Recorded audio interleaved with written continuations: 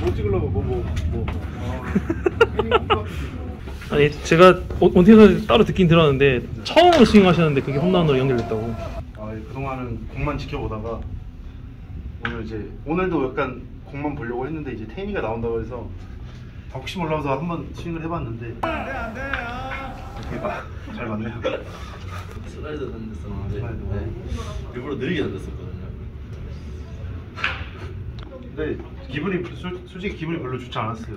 저 오늘 국가대 베이스 거 홈런 쳐가지고 제가 혹시나 길을 죽인 건 아닌지. 근데 그, 그렇게 근데 근데. 손이 저도 모르게 들리더라고요. 그 두 번째 상대 때 했는데 원태 선수가 3구 3진 잡았거든요. 약간 일부러 봐주신 건지 아니면 아니 아니 봐준 건 아니고요.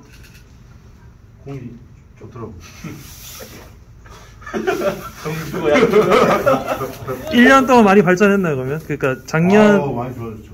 그때 두산 때보다는 혹시 한 두 단계는 좋아진 것 같아요. 밥 한번 얻어 먹어야 될 것 같습니다. 일단 밥 먹고 그다음 커피 얻어 먹을게요. 알겠습니다. 감사합니다. 됐습니다. 너 아직도 찍는 거야? 어? 아직도 안 친해졌어? 아니 아까 또 혼났잖아. 안 찍고 매장이 안 되는 것 같습니다. 괜찮아 같은 팀이잖아 이제.